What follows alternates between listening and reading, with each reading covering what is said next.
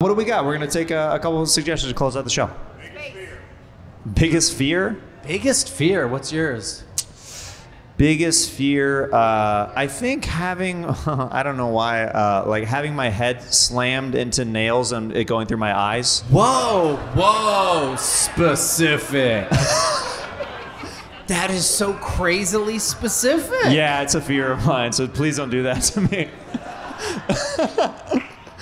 I don't know. I honestly, I've, I've, I've thought about this. I don't know if I have any specific fears. And I know that sounds like I'm a psychopath.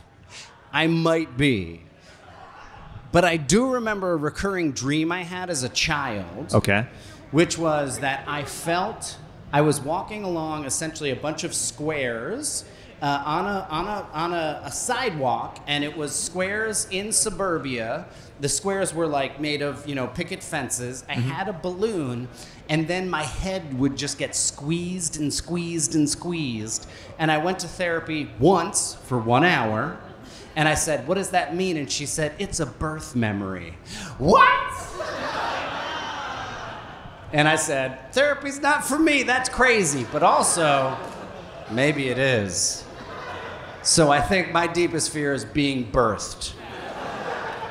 Dude, uh, being birthed again? Yes, being birthed again. By your mom. Where Get on back in here, baby. We're doing, we're doing round twos right now. Ah!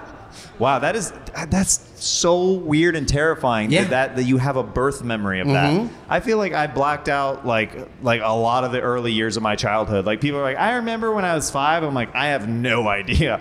Like it's weird. Yeah. I had a lot of like upheaval when I was like two. Okay. So from like two on, I have like just like flashes of memories. Right. You know? Yeah. Like somebody vacuuming here, somebody doing this here. I, I killed a fish. Uh, it was a goldfish, and I remember looking at the floor and seeing a goldfish dead, and then my mom coming in and going, What happened? And I was like, I was trying to pet him. and that's the only memory I have. he was mouthing off. I had, had to give him the one two. I literally scooped a fish up, pet him until he died, and then dropped him on the ground. Wow. Real, That's a five-year-old. real- That's a five-year-old. Real Lennie of Mice and Men energy over here. Give me that fish. I just want to pet that fish real quick. Just let me pet the fish. I just want to pet the fish real Is quick. that a mice and men reference? It sure is. Does anybody know it? All right. The only one I know is where sh- there's a kitten being milked on the side of the road, or no, it's a human. All right, whatever. Another weird dream is happening right now. Maybe I'm not thinking of mice and men. I don't All know. I don't It's about the Dust Bowl, right? Grapes of Wrath. Grapes of Wrath. Okay. Kurt Braunohler, guys. Thank you, Jeremiah Watkins, everybody. Yeah. Good night.